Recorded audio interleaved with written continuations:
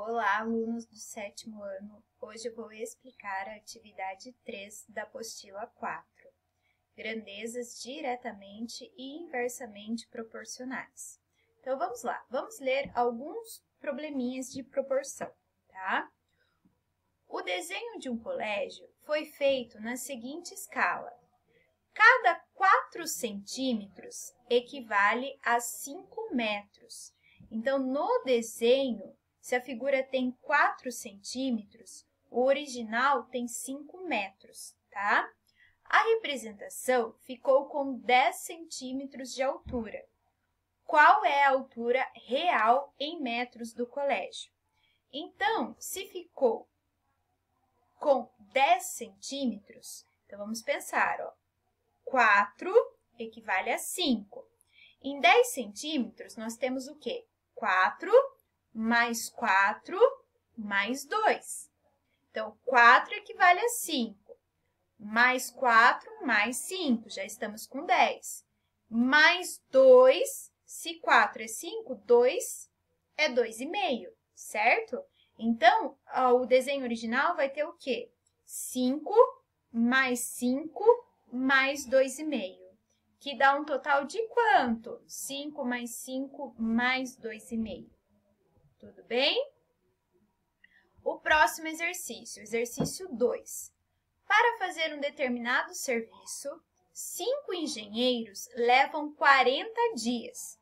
Então, se eu tenho cinco engenheiros trabalhando, eles levam 40 dias para dar o serviço concluído.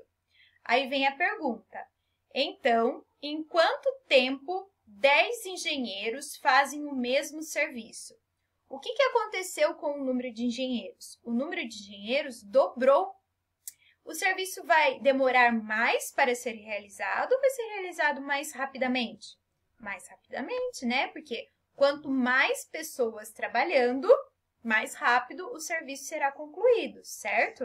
Então, ó, se o número de engenheiros dobrou, a quantidade de dias para a realização do trabalho vai cair para metade né?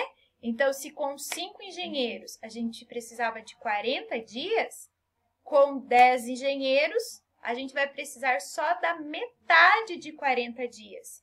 E qual é a metade de 40 dias? Aí só responder, tá bom? O próximo. Por semana, Maria faz três bolos para vender. Para isso, ela gasta uma dúzia de ovos. Então, para fazer três bolos, ela gasta uma dúzia de ovos. Uma dúzia são 12. Então, três bolos, 12 ovos. Isso significa que para cada bolo, ela gasta quantos ovos? Quatro ovos. Então, por bolo, são necessários quatro ovos. Então, vamos lá.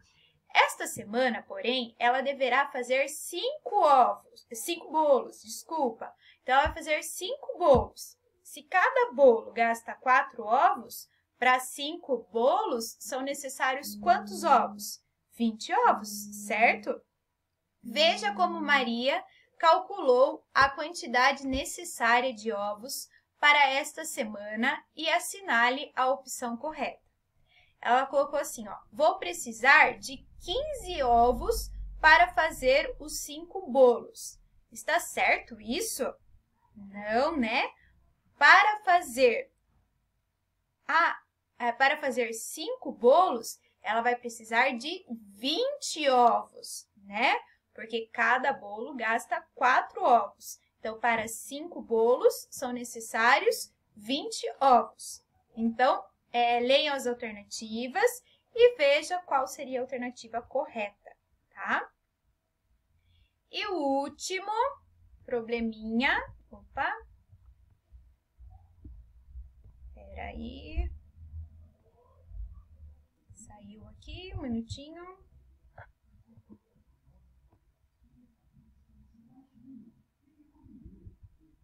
O último probleminha que nós temos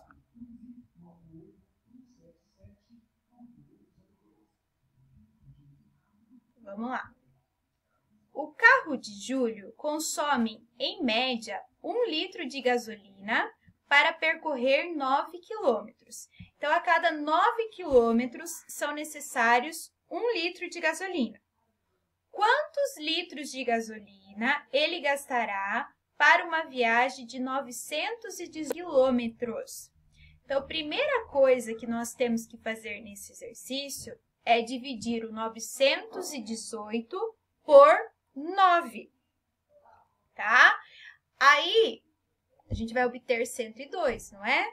Então, ele vai percorrer aquele percurso de 9 quilômetros 102 vezes. E a cada percurso desse de 9 quilômetros, ele gasta 1 litro de gasolina. Então, quantos litros de, de gasolina serão necessários? É só dividir 918 por 9, tá? Fazendo essa divisão, a gente chega na resposta correta. Só dividir 918 por 9, ok? Então, essa é a atividade dessa semana, né? Espero ter ajudado um pouquinho. Boa atividade para todos e até a próxima semana.